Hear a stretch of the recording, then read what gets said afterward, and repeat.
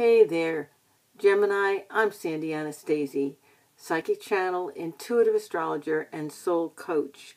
I'm here with your monthly astrological and psychic predictions for 2016, this August.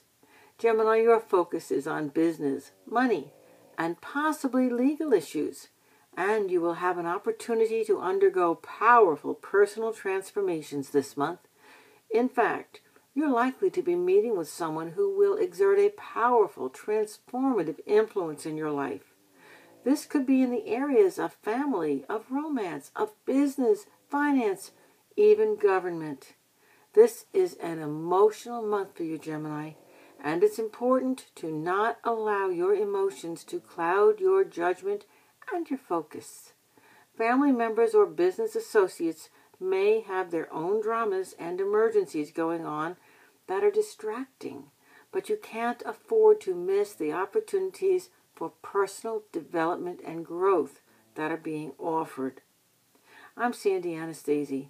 Visit me at www.sandyanastasi.com. Find out all about me and my work on my website. Sign up for my free monthly newsletter, my free psychic hour Find out how to get a reading with me. My email and my phone are on my website. Find me on Facebook. Find my books on my author page on Amazon.com. And then come back and find out how to study with me online and off.